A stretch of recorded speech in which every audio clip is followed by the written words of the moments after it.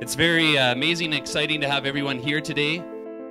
Not only was it an unbelievable task to get 40 machines lined up for this, we ended up with 42. That's just awesome. Firstly, on behalf of our committee and volunteers, I'd like to welcome and thank everyone for taking their time to come out and support the Olde Tyme Harvest for Hunger. It has been an amazing journey.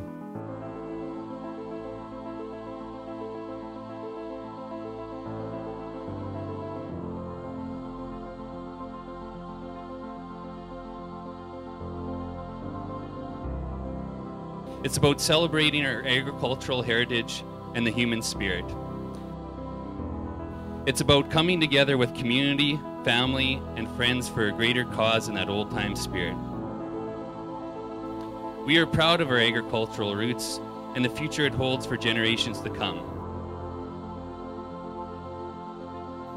I believe there is no more honorable occupation than producing safe, sustainable, and abundant food to support our families, communities, and to feed a growing world population.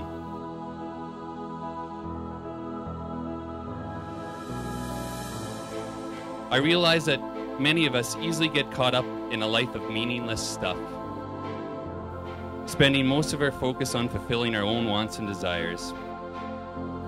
The Olde Tyme Harvest for Hunger project was a chance for us to be part of something bigger, working together for the greater good. We have been honored and humbled to be a part of this project and to be surrounded by so many amazing and compassionate people.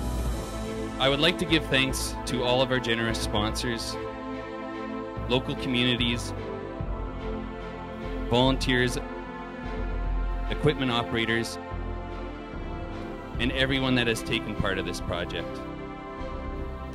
When you surround yourself with amazing people, you can accomplish amazing things.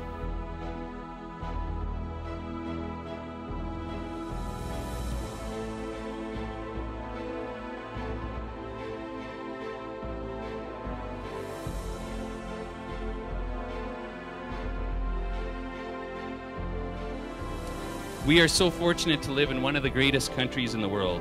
The sense of community spirit and fellowship that we find in the Canadian prairies you cannot find anywhere else.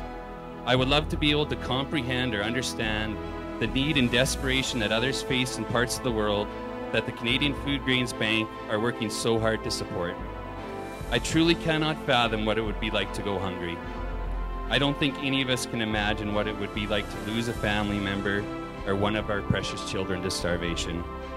Not only do we as Canadians have the fortune, abundance, and prosperity to help others in need, but I believe it is truly our duty as stewards of this land to come together and help those less fortunate.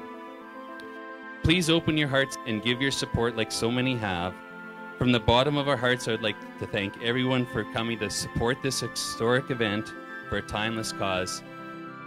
Thank you so much for helping turn this dream of the Olde Tyme Harvest for Hunger into reality.